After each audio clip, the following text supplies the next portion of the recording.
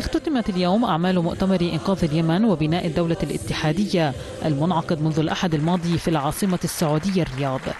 الحضور وبينهم 400 شخصية يمنية أكدوا على دعم شرعية الرئيس عبد ربه منصور هادي ورفض الانقلاب الذي قامت به جماعة الحوثيين بدعم من الرئيس المخلوع علي عبد الله صالح.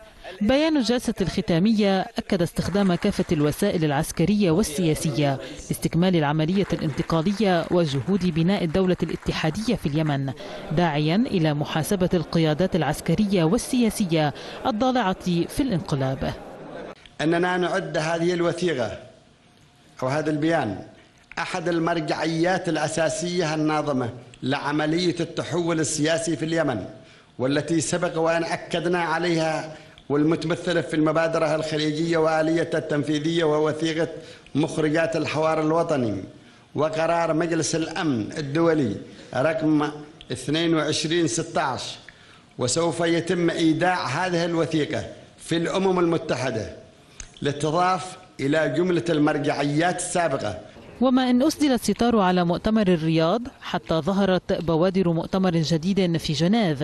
هذه المرة سيجمع أطراف الأزمة اليمنية نهاية الشهر الجاري برعاية الأمم المتحدة.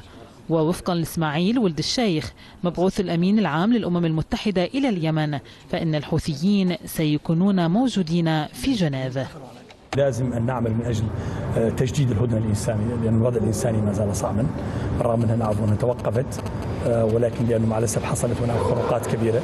النقطة الثانية هي أن نعمل كذلك على تحضير اجتماع جنيف الذي ندعو له كل الأطراف يعني ونريده أن يكون اجتماعا شاملا لكل الأطراف اليمنية.